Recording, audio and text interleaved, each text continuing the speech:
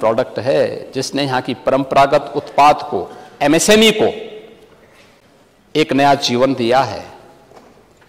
और एमएसएमई को नया जीवन देने का परिणाम है कि उत्तर प्रदेश एक्सपोर्ट का एक हब बना है। आज उत्तर प्रदेश 16-17 की तुलना में दुगने से अधिक एक्सपोर्ट कर रहा है। एक लाख छप्पन हज़ार करोड़ रुपए से अधिक एक्सपोर्ट हमारा केवल 21-22 में ही पहुँच चुका है। लेकिन ये सच है कि आप ओडीओपी तो नहीं दे पाए, लेकिन वन डिस्ट्रिक्ट, वन माफिया ज़रूर दे दिए थे। One district, one mafia. कौन जिला ऐसा नहीं था जिसमें एक नया माफिया न खड़ा हुआ आपका?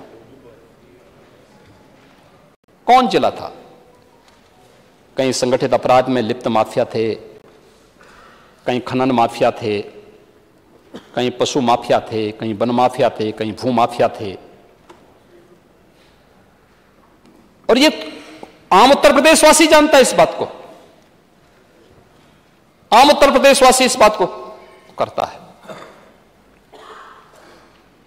हर व्यक्ति इस बात को जानता है।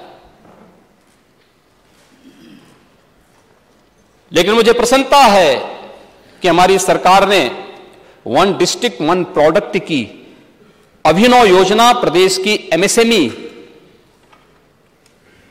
को देश के अंदर और दुनिया के अंदर एक नई पहचान दिलाने के लिए प्रस्तुत की थी। आज वो दुनिया की लोकप्रिय योजनाओं में से एक हो चुकी है।